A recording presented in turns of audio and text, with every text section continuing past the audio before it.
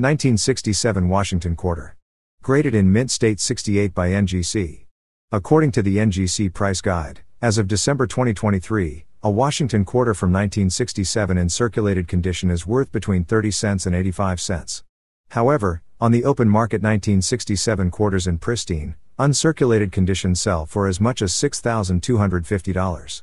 This MS68 specimen displays essentially perfect surfaces with a solid strike on the devices.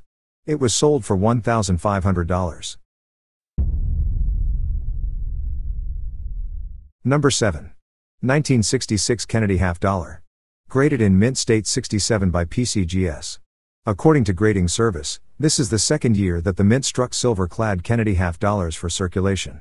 The Mint struck silver clad Kennedy half dollars from 1965 to 1970. The 1966 P Kennedy half dollar has the second lowest mintage for any silver clad half dollar struck for circulation from 1965 to 1970.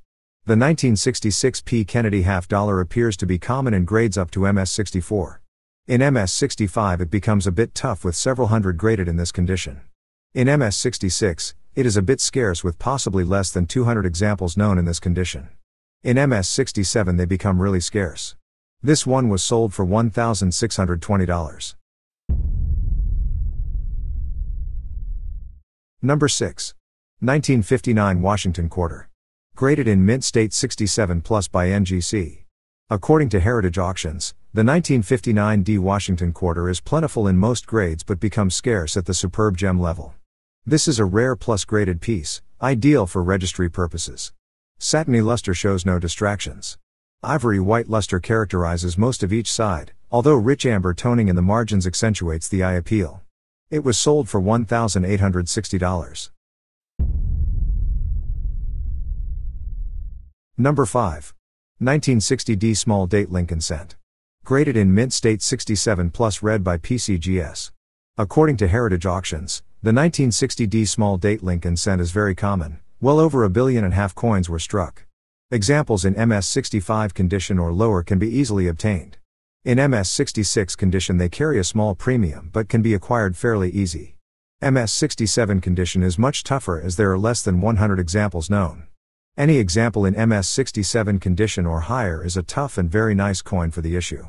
This specimen was sold for $2,280.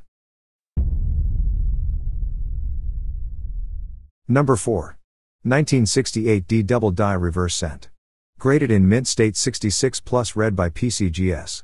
According to Wexler's die varieties, a very strong CW spread from a pivot at approximately 7 o'clock shows on the letters of USA, IPU, the dots, the designer's initials, and the letters of cent.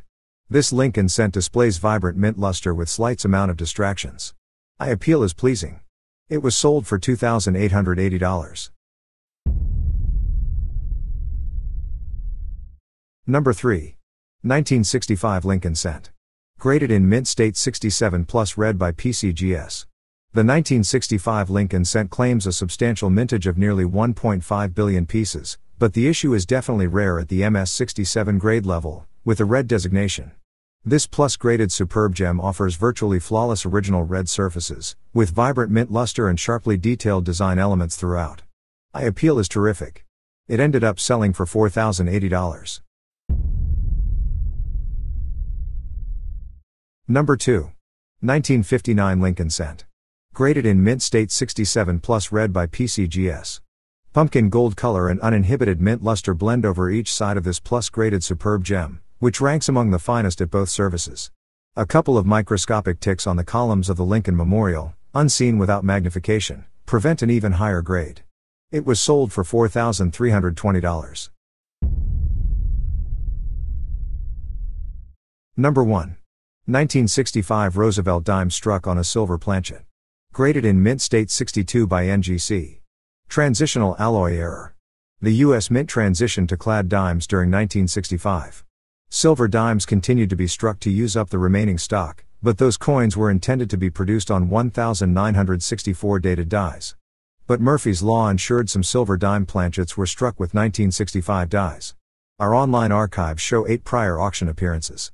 This is an unblemished example with light straw gold toning save for a small area of powder blue patina near 3 o'clock on the reverse. It was sold for $14,400. Thanks for joining us on this thrilling quest for wealth. Until next time, happy hunting.